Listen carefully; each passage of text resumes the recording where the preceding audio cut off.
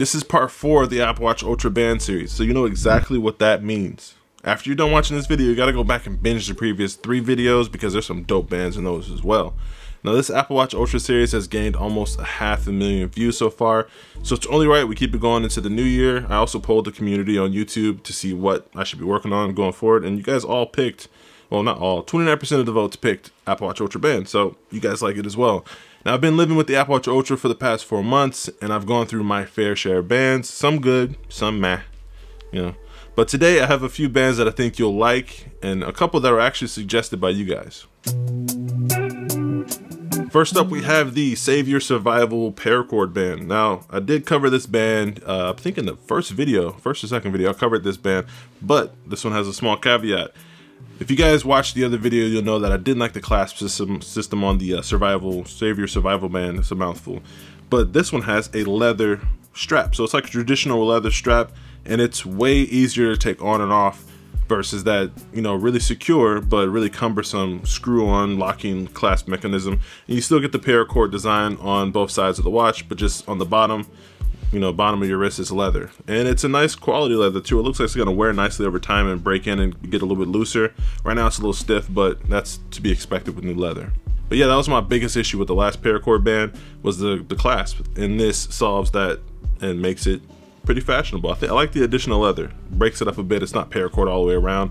It's easier when you set your wrist on a table so it doesn't feel like super thick because you know it's just a regular strap. So I think this is pretty cool. It's a dope design. I like the addition of the leather and it solves that issue I had with the previous paracord band. This, I'm probably gonna butcher the name, but I think it's the Oddbee, Oddbay rugged military tactical strap. Now this is a wild card band that I decided to get because it just had a unique design and you know looked kind of cool.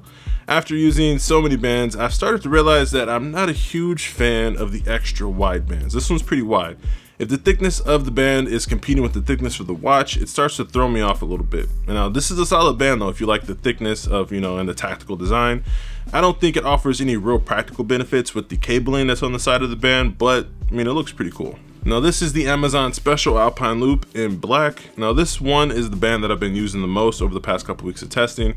The band that I actually bought my Apple Watch Ultra with was actually the Alpine Loop in green. And don't get me wrong, I love green, it's my favorite color. It just doesn't go with everything. And I actually saw Technically T wear this band in the video and I had to get it immediately. Now every black Alpine Loop band on Amazon is not made equal. I actually bought a different one before getting this one.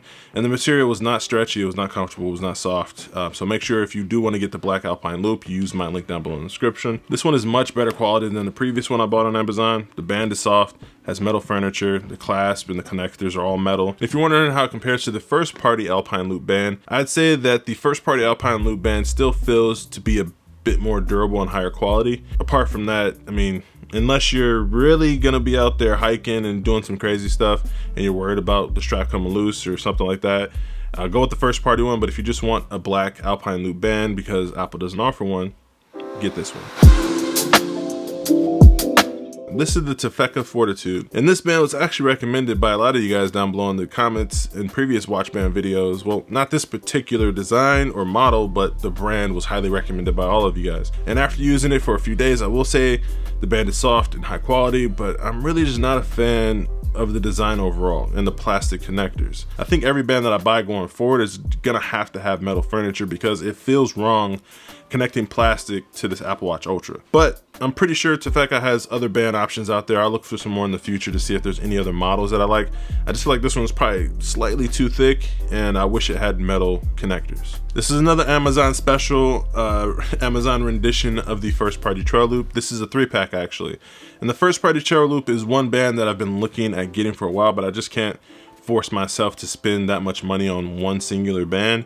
So I sifted through dozens of Amazon listings and settled on this three pack because of the metal furniture and the variety of color options. Once again, these bands are soft and high quality and they're metal. So anything metal I'm down with. I'm over the plastic connectors. The only thing I would say that I would change about these bands is the length of them. Now don't get me wrong, they fit, but I would be happy with a little extra. I also haven't used the first party trail loop, so I can't really comment or compare the differences between the two but there is way little risk or little to no risk in trying to get these bands considering the low cost.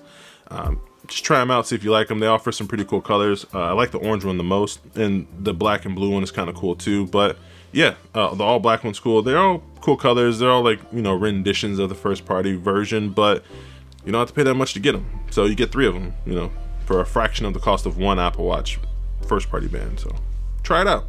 And honorable mention, I got these solo loop Amazon bands and I instantly regretted getting them. Not because, you know, the quality of the bands or anything. They're actually pretty good quality.